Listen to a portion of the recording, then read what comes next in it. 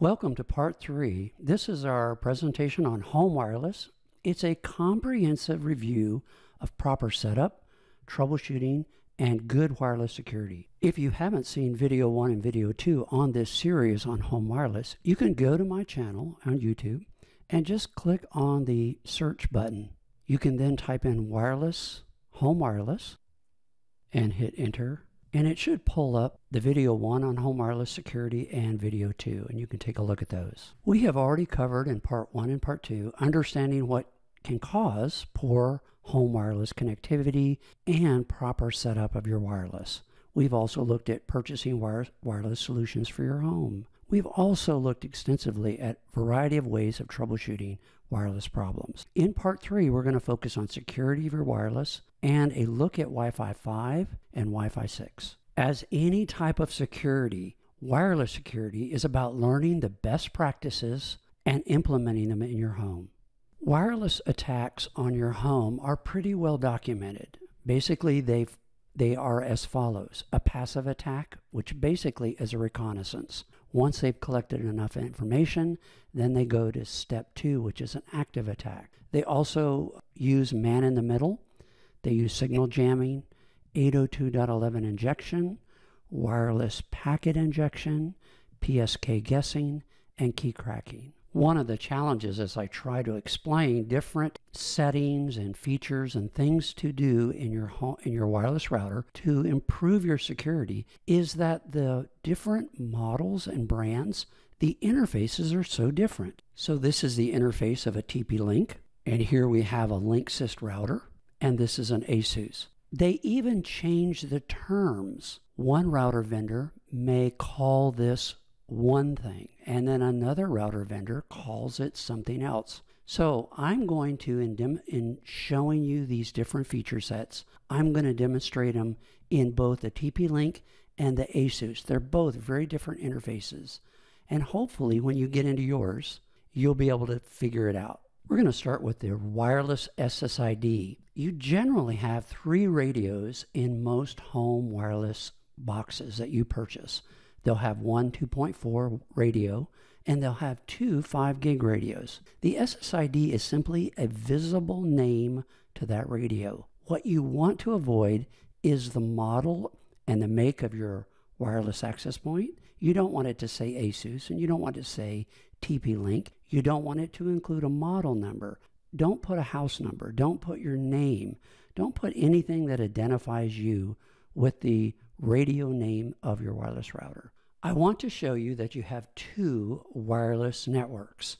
And it's very important that you find them and you understand the difference between them. This wireless tab shows me my internal wireless network. And I have three radios. I have a 2.4 gig radio, I have one 5 gig, and then I have another 5 gig. I need to know all these radios. Down here's another tab. This is called a guest network. This is also the same wireless radio, the same two 5 gig radios. The difference between my guest wireless network and this wireless tab is this is internal to my network. This one, anyone connecting to this wireless network can only see the internet. That's it. This is a better place to put most of your wireless devices on. I would reserve this wireless network only for devices that you absolutely have to, to put here. Let me give you an example. You have a wireless printer and you need laptops and devices in your home to be able to print to that. Then all of those items need to be connected to this wireless network. But you may have a Google Assistant, you may have Amazon Alexa, you may have a camera, you may have other devices. Connect them to your guest wireless network. That way, if anyone hacks those devices, it makes it more difficult for them to get into your home network. So, back to my SSIDs. I'm going to be wanting to name my 2.4 gigahertz wireless something that is generic. I don't want to tell hackers I have a TP link. I don't want to tell hackers my street, my house number. I don't want to tell hackers my name. I want this very generic. So I'm going to blow this back and let's call it black hole. And one thing I want to add to this SSID is I want to be able to know that that's a 2.4 gigahertz radio. So I'm going to put 2.4.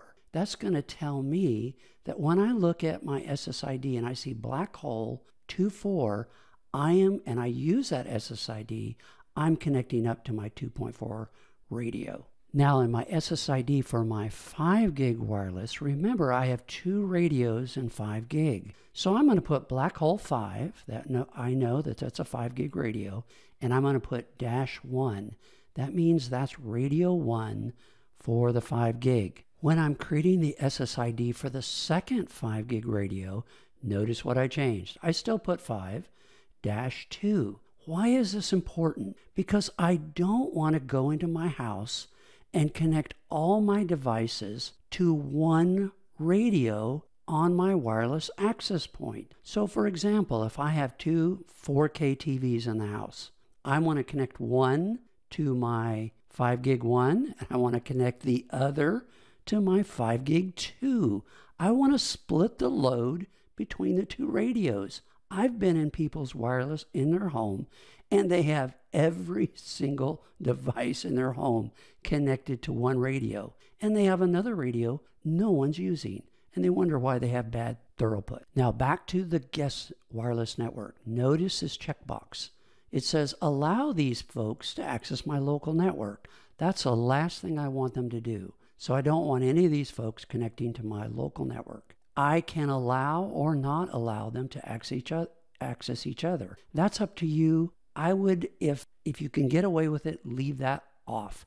Remember, anybody connected to the guest network is separated from your internal network. Now back to our internal wireless network. And notice I've already given them a name. What I did add was I added the, the letter I. I know that this black hole 24 has an I in it. I know that's internal. This black hole I 5-1 is internal. So I'm going to only use these radios only if I'm going to share a printer. I have a wireless printer that people connect to. You're probably going to have to go in this network and use connect your devices to this wireless network. Where possible, use the guest network. It adds a layer of security for your home. If you don't need the internal wireless at all, go ahead and give the SSIDs a name, then simply hide them. You can check them and they won't be visible. All right, back to some fundamentals. Where possible, connect all the devices in your home to one or the other 5 gig radios. You'll get your best performance. There will be devices that you have to use a 2.4 radio. Use it, you got it. Also, split the devices in your homes equally among the two 5 gig radios. That's why you indicate 1 and 2 you know which radio you're connecting to. In our ASUS interface, we can come up and see our 5 gig radio. And in this particular router, we only have one 5 gig radio. So again, we want to generically rename this radio SSID to indicate that it's 5 gigs. In this case, there's not a 1 or a 2, so you can put some Knight Rider 5 or whatever. Just something that doesn't indicate like ASUS. So these are just really common sense things. Keep your SSID generic. Now, up here is the guest network. In the ASUS, they have a guest network, just like we saw on the TP Link. It's a little bit different. Notice here's your 2.2.4 gigahertz radio. You can enable it, and then you can change the SSID, and then you have your 5 gigahertz radio. In this case, we only have one we can enable it. And again, you want to generic, put a generic name in for your 5. Put a 5 into the 5 and a 2.4 in the 2.4 so that when you're out connecting your clients, you know which radio you're connecting to. Next, we want to set all of our radios to WPA2 personal encryption mode. As with all router brands, as you get into their interface, they're all so different. So let's go into wireless, and I'm going to go into advanced. And I'm going to come over to the wireless tab and just drop down into wireless settings. And you can see by default, WPA, WPA2 personal is the recommended security level for most home router settings. You can see you can go to enterprise, but I would stay with personal because many clients, many devices you have in your home will at least be able to reach this level. This is the minimum that you want. If I go to Linksys, I'm in the wireless. Let me go back to the home section. So with a Linksys wireless router, we'll again go to wireless. And you can see here they have the security mode for the 2.4 is WPA2 personal. That's what we want. And in the 5 gigahertz radio, you can see WPA personal. With our ASUS router, down here in our wireless tab, we come over here to authentication method. Notice they use all different kinds of terms. That's what's frustrating about different brands. But if you look, you'll find WPA2 personal. You still may be a little confused when I talk about two separate wireless networks. And in this case, we saw on the interfaces for the routers, one called it a guest wireless network, and then I called the other one the internal. When we assign SSIDs to each of these radios, we assign them, we give them names, and we assign them to the guest wireless network. So when anyone connects to those SSIDs, they are in this network. On the other hand, we also give another set of SSID names, but these names are assigned to the internal wireless network. What's the difference? Well, number one, anybody in this guest network, this wireless can go out to the internet, no problem. But they cannot see anybody on the internal network. All those are RJ45 jacks in the back of your wireless router, they can't see them, they can't talk to them, they can do nothing. They simply can connect and go to the internet. That is safety for you. Now, on the internal network is totally different. They can go to the internet, they can see the guests, they can actually talk to those RJ45 jacks in the back. So if you plug a computer back there, the radios that if you connect your clients to the internal SSIDs, they can talk to those devices. So the internal wireless network has access to the to everything. But the guest wireless SSIDs or the guest network can only go to the internet and that adds the layer of protection you want. Let's say you buy an IoT device like a camera and you put it in your home. You don't watch the security news on that camera every day. You don't pay attention to uh, vulnerabilities for every device in your home. But that device probably will not get another firmware update, maybe once, maybe twice in its entire useful lifetime. If a vulnerability is made known in that vendor's camera, which network do you want it to be on? The one network that, if they do, are able to hack into that camera, it simply goes to the internet? Or would you rather the camera be on your internal wireless network where they can now access everything in your house? This is why you want to use the guest network. Number four on our wireless security is no remote administration of your router. Remote administration is a tempting setting, but it is a deadly one. I'm going into my TP-Link interface. I'm going to go to Advanced, and I'm going to slide this down so you can see that I'm going to come down to the System Tools tab, open that up, and I'm going to slide that up to you see Administration, and I'm going to click on that. And notice the setting. It says Remote Management, and it's enabled. This is a deadly setting. This simply means you can go to your friend's house or your or you can go on a vacation and you can use an HTTPS address and get access to your router. The problem with that is if you can, somebody else can. So you don't want anyone on the internet to be able to access the administration pages of your home router. We're going to uncheck that. In our ASUS, I'm going to scroll down here and I'm going to pull this down so you can see what I'm doing. I'm, I'm coming down to the administration tab and I'm clicking on that. I'm coming up to the system tab and notice you're having to hunt for this. And down here, it gives me the option of remote access config. Enable web access from the WAN. You do not want that. That's remote access. The only way you want someone to be able to get into your router is take a laptop or a desktop, plug into the back of the router, and that's the only way. In other words, they have to break your door down. bust into your house, plug into the back of your router. That's the only way they're going to get into your router.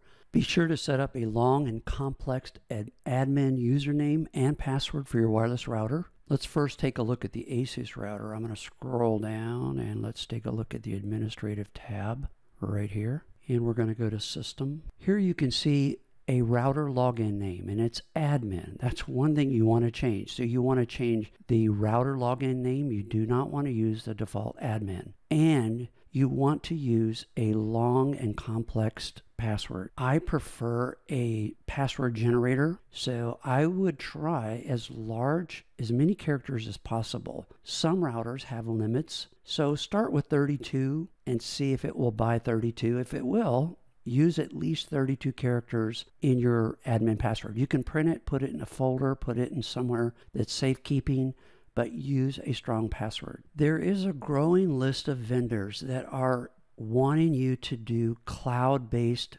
management where you create a cloud account and you manage your device via a cloud account. If there are no options, then make sure your username and password are extremely complex and difficult. So in my case, I have a TP link and it wanted me to use a cloud based account to manage the router. But down in the advanced pages of the manual was a way that I could use the router IP, as you can see in my URL. I'm accessing via 192.168.0.1. So I prefer this method. In this case, I still have to have a email address and a password or a username and password. Remember, do not leave that hard coded admin as a username with the router. Change it. Now, to connect to your wireless, you're going to have to use a password, or technically, it's called a WPA shared key. I recommend not using passwords, but passphrases. So let me explain, explain the difference between a, a password and a passphrase. Passphrases are complex, but easier to remember. For example, using names of friends. Here I've used the asterisk Joe dot asterisk Pete dot asterisk William dot, and you can see the, the idea. But I'm using names of friends that I can remember very easily. I'm adding some complexity, the dot, the asterisk, and in that it's long, it's complex, and it's easy for me to remember. I can use schools that I attended, dollar sign Ringgold, dot, dollar sign elementary, dot, dollar sign West. And you can see, you can also use the names of school uh, teachers at school, and any other combination. A passphrase is something that's complex but easy to remember, and that's what you want to use on your wireless. There is one type of wireless security do not use. It's called WPS, and it was designed to make it easy to connect a client to your wireless network. Sometimes they have a button, sometimes they generate a particular PIN code. Do not use WPS. Here's an example on the ASUS router where it says provides easy and secure establishment of a wireless network. It's anything but secure, so don't use WPS. Here we have here we have an example of WPS on the TP link. The sad fact is that consumer-based wireless routers are updated maybe twice, maybe three times in their production life cycle. But I would check anyway. That router update could patch a serious vulnerability. So take a look, but make sure you're up to date with your vendor's firmware update. As I was preparing for this presentation on wireless, I discovered all kinds of great resources. You can pause the video and take a look at some of these. I'll also put them in the description, so you're welcome to take a look and check them out for yourself.